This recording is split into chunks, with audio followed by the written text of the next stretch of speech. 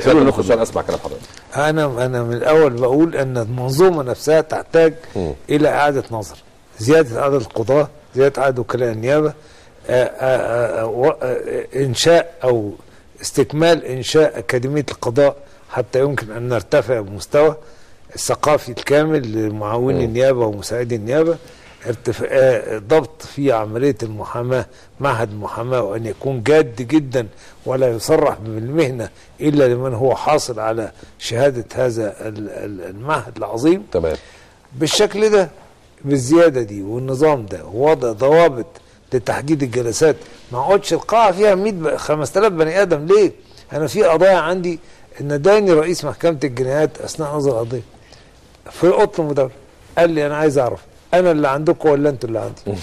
آه يعني معناه إن إحنا محاصرينه. صحيح فقلت للموكل يا عم اط- اطرد مشي الناس قرايبك دول. ما قدرش يمشيهم يمشيهم اذا هناك استفزاز بالمنصه وهناك استفزاز من المنصه المحامي وموكله تمام. لما ترفض سماع دفاعه.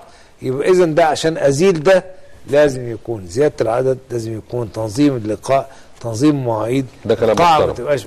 طيب أنا اجمالا اجمالا استطيع إجمالاً أستطيع أن أقول إنه ال ال النيابة وأعضاء وكلاء وكلاء النيابة بيعيشوا في ظروف صعبة من حيث كم العمل والإجهاد الكبير. تمام. يقابلهم أيضا المحامي بيقوم بجهد كبير في تخمة الأعمال خاصة أن الاعداد كبيرة وفي حاجة إلى إلى تدريب وتأهيل.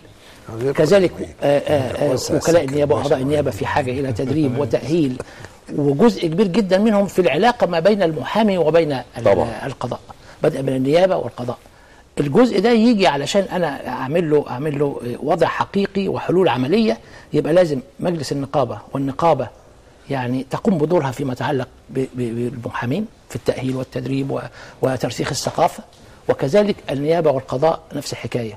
ويبقى ما فيش مانع من إنه يبقى في لقاءات دولية ومؤتمرات عامة بحيث إنه يبقى كيفية التعامل بين الاثنين كلام مهم وبالتالي. وبالتالي مهم جدا يبقى في مواثيق علشان يبقى في إيمان راسخ انهم أنهما شركاء بالفعل في العدل ده كلام رائع. وبالتالي وبالتالي يبقى, المشاكل المشاكل اليومية التي فجرت هم شركاء نعم. شركاء في في شركاء في. العدالة. شرفتنا يا دكتور نعم. شكرا. أستاذ عمر.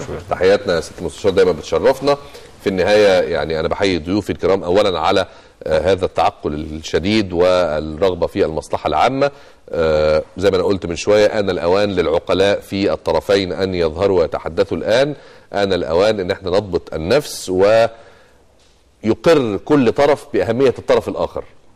قدسية ووقار وكلاء النيابة والقضاة باعتبارهم أحد شركاء تحقيق العدالة وعلى المحامي أن يوقن وعلى الأطراف الأخرى من وكيل النيابة والقاضي أن يوقن أن المحامي مش هو الفردة النايمة أو الجهة النايمة بالعكس هو شريك أساسي وأصيل في تحقيق العدالة وعندما يحدث ذلك أعتقد أن ميزان العدالة سيستقيم في مصر على العقلاء أن يظهروا وعلى الوسطاء وسطاء أن يمتنعوا.